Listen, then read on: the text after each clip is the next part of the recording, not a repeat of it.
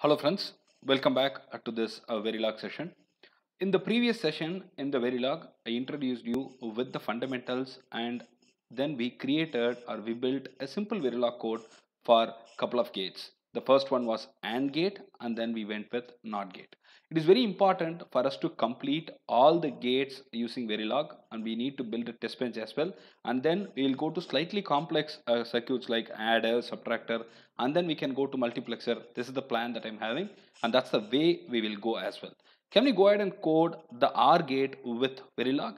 It's easy. I have already taught you. Let's first go ahead and understand the way the OR gate is structured. It has got two inputs and the output is going to be sum of the two. If either of the inputs is high, the output will remain high. 0, 0 will be 0, 0, 1 will get you 1, 1, 0 will be 1 and 1, 1 will again be 1. This is very easy and this is very tricky. Let's go ahead and code the module first. We are going to design the OR gate. What is the first step to do? We need to write the module. How do we write the module? Module and name of the module is OR gate and how many inputs we have? We have got two inputs, one output will be there and hence we have got the three variables here A, B and Y. Y is eventually the output and A and B are the inputs. Now I need to make it in the code that A and B are inputs and Y is output. I use input, A and B ports are made as input and Y is made as output and assign we use to get the computation done. Y is equal to A or B and the result of A or with B will be assigned to Y, endmodule. We have built the module and it is ready to be tested. That's it. So first part is over. Now we need to write the test bench. The test bench is as important as the writing the module and hence we need to pay attention for that as well. Can we go ahead and start writing the test bench? The name of the test bench should be written in the same way as we have written the name of the module here. OR gate, OR gate underscore TB. Now output is Y, so it can be made T underscore Y. The uh, input is A and B, hence it can be made as T underscore A and T underscore B. The input should be made registers, the output should be made wire and I explained you this clearly in the previous session, so follow the same inputs. Now what do we do? We need to instantiate. This module has to be instantiated here. OR gate is the name of the module here. I instantiated my gate and dot A will be connecting to T underscore A, B will be connecting to T underscore B, Y will be connecting to T underscore Y. So we have related this A with T underscore A, this B with T underscore B and this Y with T underscore Y. That's it, work is done.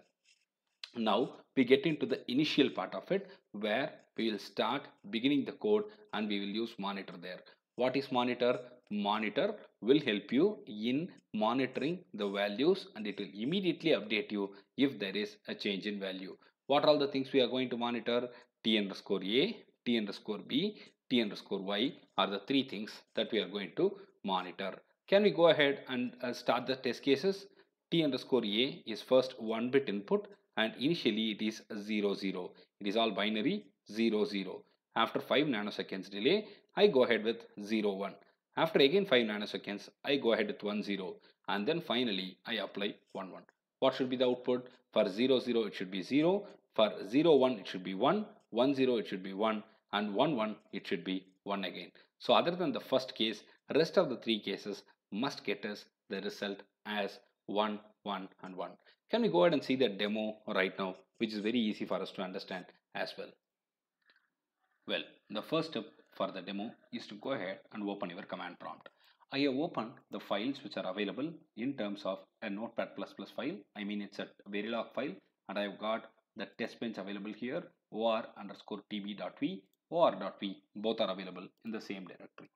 Can we go ahead and compile the file first? How do we compile iverilog hyphen o or underscore demo is the name of the final executable file or dot v r dot r underscore tb dot v. Now we have got the final executable file by the name or underscore demo. Can we see if we get the result? Yes, done. 0 0 gets you 0, 0 1 gets you 1, 1 0 gets you 1 and 1 1 gets you 1. That's all. You have coded the very clearly you have coded the OR gate with Verilog and you have also built the test bench. Now what is the next gate to go ahead with?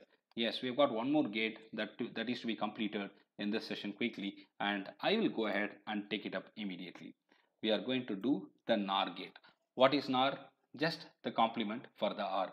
So same is the case here. I'm going to use the module and I have named it as NOR gate. Input is A and B and output is Y. So input A and B configured here clearly, output Y configured here clearly and assign A or B but we are going to use not in front of it. And how do we write a test bench? Same is the case, no change.